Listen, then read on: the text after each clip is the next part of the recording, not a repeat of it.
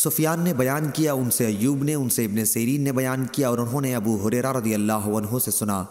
आपने बयान किया कि अबुल कासिम सल्लल्लाहु अलैहि वसल्लम ने फरमाया, मेरे नाम पर नाम रखो, लेकिन मेरी कुनियत न रखा करो।